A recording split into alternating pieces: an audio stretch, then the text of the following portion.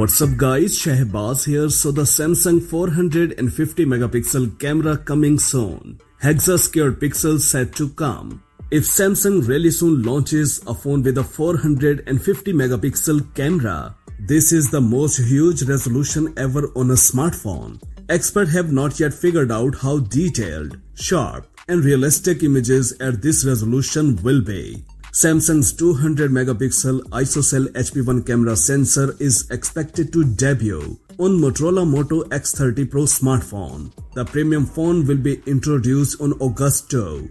After that, the Korean tech giant will introduce another 200 megapixel camera sensor, ISOCELL HP3. And most recently, according to the Twitter account Galaxy Club, the company has filed a trademark application in Korea for the term hexa-squared pixel. According to ICE Universe, the Samsung 450 megapixel camera or hexa-squared pixel camera will do 36 in 1 pixel binning.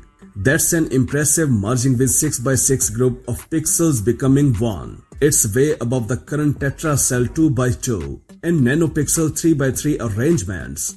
If the company's target is 12 megapixel resolution, as with other two, then the result is a 432 megapixel resolution. The company may round this to 450 megapixels. Hence, the upcoming Samsung 450 megapixel camera is set to succeed the ISOCELL HP1 and HP3 sensors that have 200 megapixel resolution.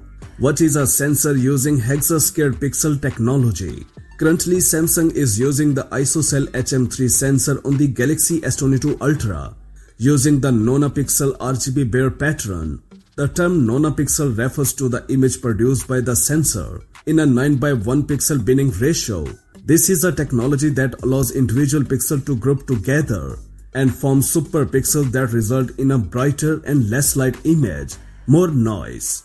The 9 by 1 pixel ratio means that the 108 megapixel camera on the Galaxy S22 Ultra will deliver improved 12 megapixel photos the 200 megapixel ISOCELL HP1 and ISOCELL HP3 sensors use Bayer Tetra Squared Pixel RGB using 16 in 1 pixel binning. Tetra is equal to 4 and 4 squared equals 16. Therefore, the term hexa squared pixel would indicate that Samsung is working on a camera sensor with a pixel binning ratio of 36 in 1. Hexa is equal to 6 and 6 squared equals 36. Because the image after Samsung pixel binning is in the range of 12, 12.5 megapixel, for example, the Galaxy S22 Ultra, it can be infrared that with the ratio of 36 by 1. The manufacturer is working on a camera sensor. Photos have a resolution between 432 or 450 megapixel sensor. This is the most huge resolution ever on a smartphone. Experts have not yet figured out how detailed, sharp, and realistic images at this resolution will be. And although there is no evidence that a 450 megapixel sensor will appear, with its excellent technological development, Samsung can do this in the future. That's it for now. For more updates, please subscribe to our channel Science and Knowledge. Until the next video, take care of yourself very well. Peace out.